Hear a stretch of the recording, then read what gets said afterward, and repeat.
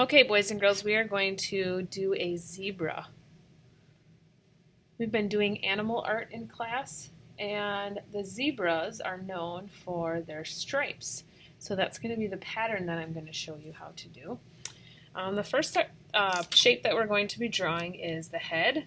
The head is round at the top, but it kind of tapers in this way to make a thinner round at the bottom for the snout of the zebra. So it's thicker at the top than it is at the bottom. Down at the bottom is going to be the nose, but since we are doing white on black, normally the zebra nose is black, but we're going to be making a white nose. So you're going to make a curve, and then the nostrils are towards the outside of the nose, so we're going to be doing an oval on this side and an oval on this side. And then using your white color pencil, we are going to color in all of the space in between and around those nostrils. Um, just like when we outline a shape and color it in, it's the same thing when we do the negative space or the outside of a shape. So I'm going to outline the shape. And then I'm going to outline the outer part of the nose here. And then color the space that is inside. This time, instead of removing all the white, we're going to be removing all the black paper that's behind it. Again, I outline that line and then fill it in. All right, zebras kind of have round ears at the top, so on each corner, you're going to come out and make kind of like an oval shape.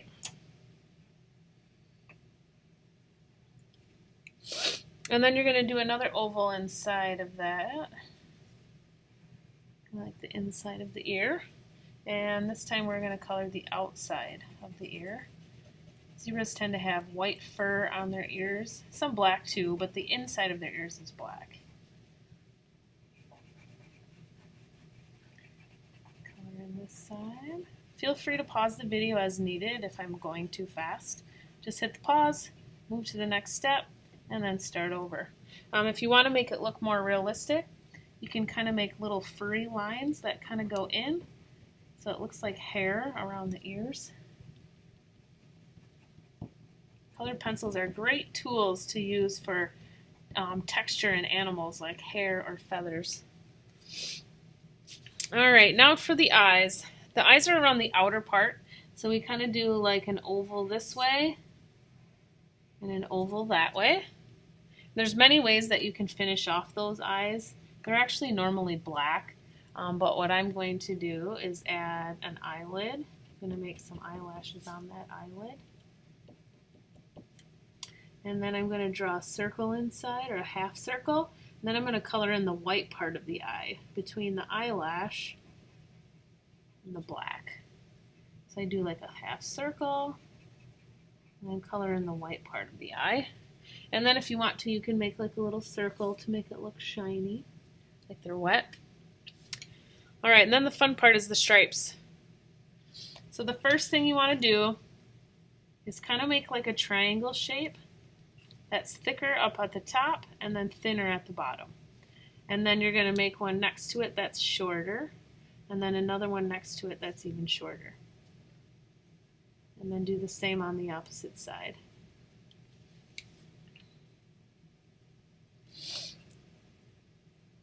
I'm going to color in those stripies.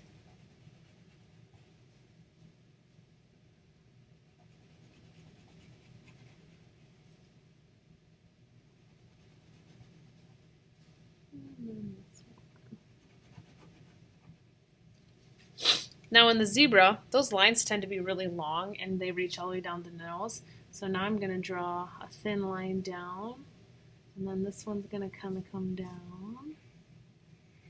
And then this one's also going to kind of come down. Now we're going to do the ones on the sides.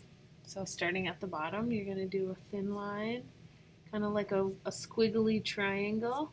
I can actually fit four on that side. Um, if you have a longer zebra head, then you can fit more lines, or if you have a shorter zebra, then you can fit um, less lines.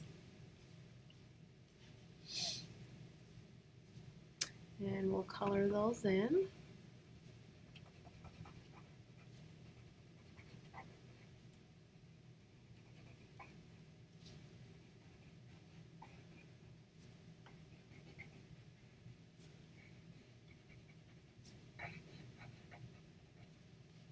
And then those actually kind of curve in and connect to the line that's ne next to it. So we're going to curve those in like this.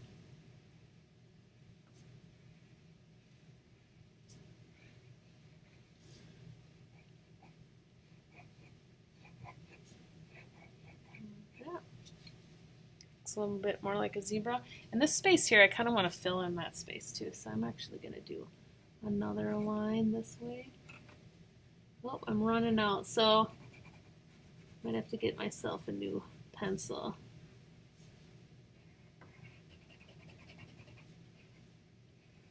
I happen to have open space here from those eyes, so that's why I'm doing that. All right, now we're ready for the side. So we're doing a profile. So the side of the body is coming off this way, or the neck. So where the ear is, you're going to do a diagonal line, and where the nose is, you're going to do a diagonal line. um, horses have really long, flowy hair, and zebras have short hair. And so their short hair just kind of looks like a little tuft. Okay, and then that tuft will come all the way down side of the neck here. this. Fill that in. The more lines you have, the more like real hair it appears. And the last part now is the stripies. So when I do the stripes, I do a long line this way and then a long line up, or tri kind of like a triangle. And you do a long triangle this way, and a long triangle this way. And notice I'm kind of curving them a little bit, um, because the neck of a zebra is actually curvy. So then that one comes here, and then that one kind of comes off the side. And then we will color that in.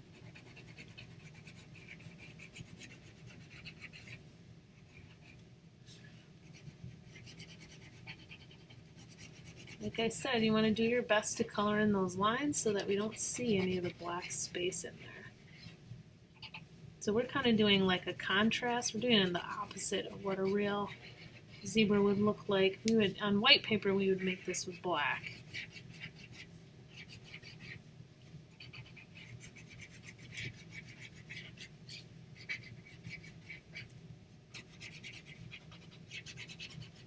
And there we go. There's our zebra.